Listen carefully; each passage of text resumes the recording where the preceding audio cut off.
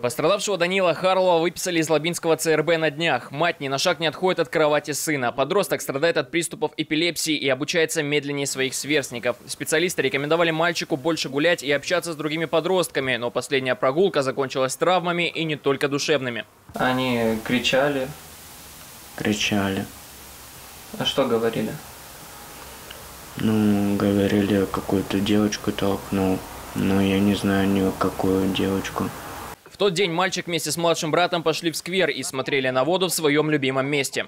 По словам очевидцев, все произошло именно здесь. Даниил вместе со своим младшим братом лежали на шезлонге, но когда собрались идти домой, к ним подошли двое неизвестных и завязалась драка. Данила ударили, он упал, потерял сознание, а младший брат стал кричать и звать о помощи, но никто не пришел. После драки подростки поспешили скрыться. Правда, один из них перед тем, как убежать, вызвал скорую. А младший говорил, что нельзя этого делать, что у него эпилепсия. Они все равно продолжали. Он, получается, был без сознания. Потом его в реанимации перевели в сознание, потом уже в травму перевели. Врачи установили, что у Даниила закрытая черепно-мозговая травма, сотрясение мозга, сломан нос и многочисленные травмы во рту. Сейчас мальчик принимает выписанные лекарства и много отдыхает.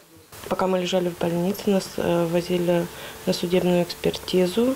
Судебная экспертиза пока не готова, она будет готова в течение 20-30 дней. Спасибо всем людям, которые ну, поддерживали, помогали, поддерживали. И спасибо всем большое, конечно. Личности пострадавших установили в тот же день, но все они несовершеннолетние и задержать их не могут. Краевой следственный комитет возбудил уголовное дело. О конкретном наказании можно будет говорить после разбирательств. По статье об умышленном причинении тяжкого вреда здоровью нападавший может грозить до 8 лет тюрьмы. По мнению психологов, в переходном возрасте энергию ребенка важно направить в нужное русло. К примеру, можно записаться на спортивную секцию, а родители со своей стороны должны рассказывать детям о возможных последствиях за свои поступки.